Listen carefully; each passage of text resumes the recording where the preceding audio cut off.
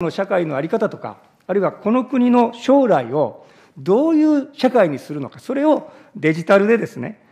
どう持っていくんだという、デジタル庁が目指す社会像、これをぜひ大臣からお聞きしたいと思います。どうですか？白井大臣。えー、質問ありがとうございます。あの委員と全く同じで、まあ、今回の新型コロナに対して、今までの IT 戦略とか、日本なりのデジタル化戦略が通用しなかったという思いです。まあ、そういう意味で、あえて私、デジタル敗戦という言葉を使わせていただいているのはそこで、ですからまず、その何悪かったかということをもう総括した上で、でそしてどう進めるか、そして次の社会像をどう作るかということだと思います。まあ一言で言うとですね、全部が中途半端だったということ、業務の見直しせずにそのデジタル化しても効果は全く出ないということ、それと、今までいろんな IT 政策で、まあ、政府はいろんな計画を作ったけれども、その目標を達成してません。で、達成してないのに責められないという状況もある。で、これはなぜかっていうと、国民の期待も低かったし、またあの政府として、これはもう民主党政権も含めてですよ、やっぱりずっとその、このデジタル化というか IT 政策の、政策の優先順位は低かったと思います。で、今回のコロナを受けて、いよいよこの回、もう最上位のその政策になるということですが、これからやっぱり国民に示していかなきゃいけないのは、なぜデジタル化が必要なのか、そしてあのずっと経団連等々もお話になっていたソサイティ5.0、あれ、一般の人、パッと聞いてもその響かないっていうのもよくわかるんですね。どういう社会像を求めているのかということを、今回も徹底的にその説明したいと思っています。まあ、その意味で、まずあの、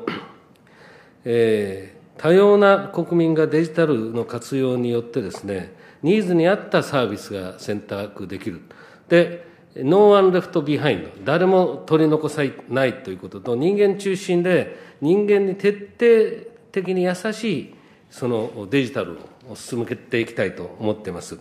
まあ、それはあの場所とか年齢を問わずに、まあ、いろいろな選択肢を持ちながら質の高い生活を送ることができて、かつ効率的により空いた時間をさらなる経済活動やいろんな地域活動に使えるようにできると思っているし、あの、この目指すべきですね、社会のビジョンというのを IT 基本法の大改正の中で、いろいろな原則をこれからお示ししていこうと思うので、またごご議論もいただきたいというふうに思います。ただ、もう一つ、あの私自身がこの閣僚になる前に、党の方で、デジタル田園都市国家構想というものをその提唱させていただきました。党の方のその公約にはなっているんですが、これだけリモートで仕事ができるんであれば、そのリモート先は、要するにもっと分散することができるだろう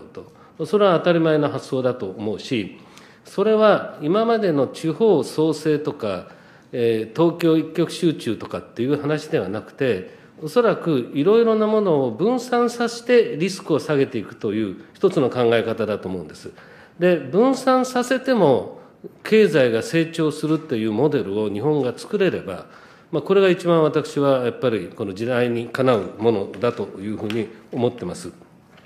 まあ、そういう意味で、徹底的にまずサービスバイデザイン、そしてセキュリティバイデザインで、まず国民の皆さんがそのデジタルというものの恩恵を受けられるような社会を目指したいと思っております。委員長。岸本君。ありがとうございます。私も同じ問題意識を持っております。で、一つだけ今おっしゃった地方分散ですね。本当そうなんですね。で、実は今現在、1都3県、1都3県の方には恨みはありませんが、1都3県に日本の人口の3割が集中してるんです。1都3県に。3割です。これ実は高度成長の時代の日本、1960年代がわずか15%だったんです。それからどんどんどんどん日本中から私も和歌山から来ましたけども、一都三県に集まって3割。これ、まさにリモートできますから15%にしましょうよ。目標。